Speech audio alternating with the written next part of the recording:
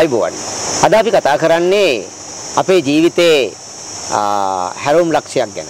ඒ කියන්නේ අපි තේ කෝපි වලට පුරුදු වෙලා ඉන්නවා. අපි දෛනික ජීවිතේ නැතුවම බැරි දෙයක් තමයි තේ කෝපි. උදේ පාන්දර පටන් ගන්න තේ එකකින්. අපේ ගෙදරට කවුරු හරි ආවොත් අපි ඉස්සල්ලාම දෙන්නේ තේ එකක් බොමුද කියලා තේ එකක්. මොකද්ද මේ තේ සහ කෝපි සංස්කෘතිය? මේ තුල අපිට ලැබුණේ හොඳ දේවල්ද? එහෙම නැත්නම් අපිට ලැබුණේ නරක දේවල්ද කියන කාරණාව ගැන අද අපි කතා කරමු. ඉතින් ලංකාවට සුද්ධ ගෙනාපු තේ මුලින්ම පටන් ගන්නේ ලංකාවේ සිංහලයෝ සුද්ධ තේ බොනවා දැකලා කියපු කතාවක. ඒ තමයි.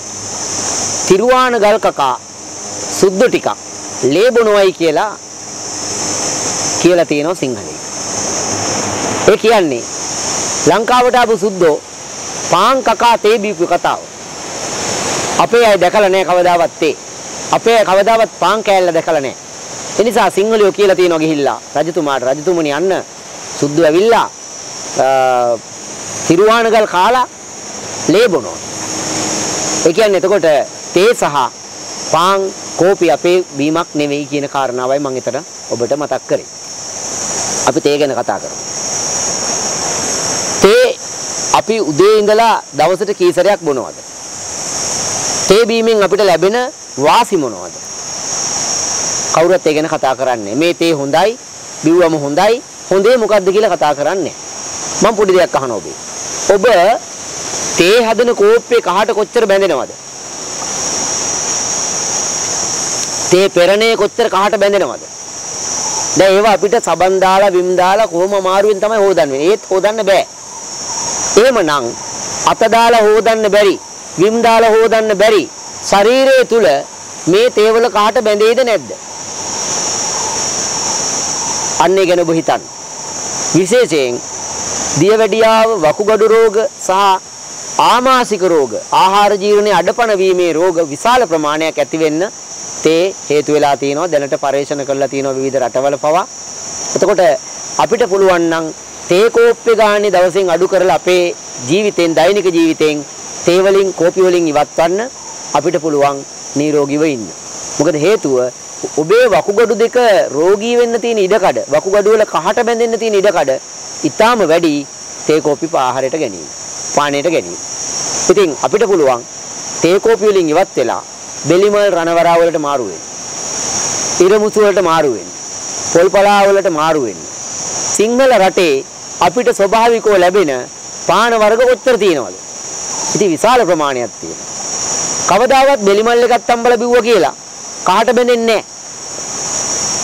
පොල්පලා එකක් තම්බල බිව්වම පොල්පලා කහට බැඳෙන්නේ නැහැ. හැබැයි තේ බොන කෙනාගේ ඇතුලේ කහට බැඳෙන්න පුළුවන්. ඒ තුල වකුගඩු දෙක දුර්වල වෙන්න පුළුවන්. ඉතින් වකුගඩුවක් දාන්න හොයනවට වඩා මේ කාලේ අපි හොඳයි වකුගඩු දෙක නරක් වෙන ආහාර වලින් ඉවත් වෙන එක. ඉතින් මම හිතනවා තේ කොච්චර අබ්බැහිකාරකයක්ද කිව්වොත් මේක මද්ද්‍රව්‍යයකට වඩා බරපතලයි.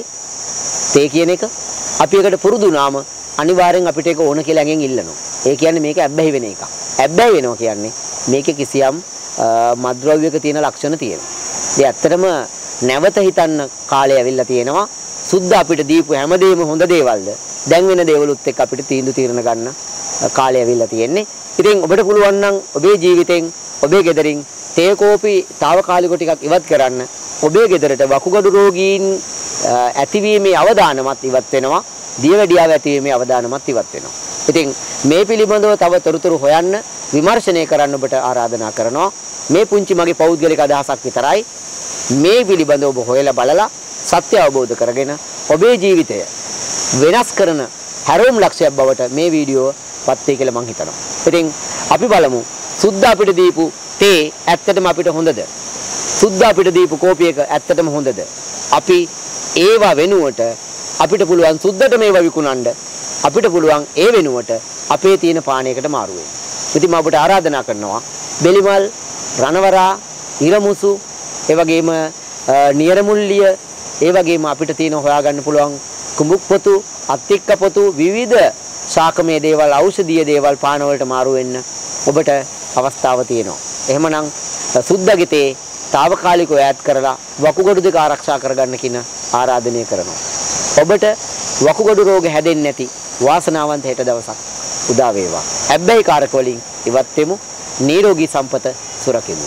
ඔබට තෙරුවන් සරණයි. මම පාරම්පරික වෛද්‍ය පී කණ්ඩම්.